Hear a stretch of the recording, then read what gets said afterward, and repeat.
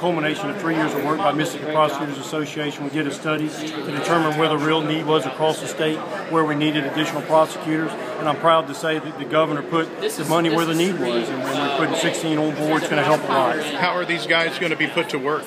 Yeah, what will happen is, see, the DA's office is, is really a bottleneck in, in the criminal justice system. 13, 14 agencies will feed files there, and it takes lawyers to move cases in the courtroom. So what's going to happen is uh, DA's office will be more efficient. You have more workers. You'll be able to move more cases. Criminals will be held accountable a lot quicker. So if I'm a victim of crime, I can expect to see the perpetrator be moved through the system a lot quicker. Yeah, if you're a victim of crime, you should be happy today because it's going to move a lot quicker. I appreciate it. All right, good. Uh, Tony.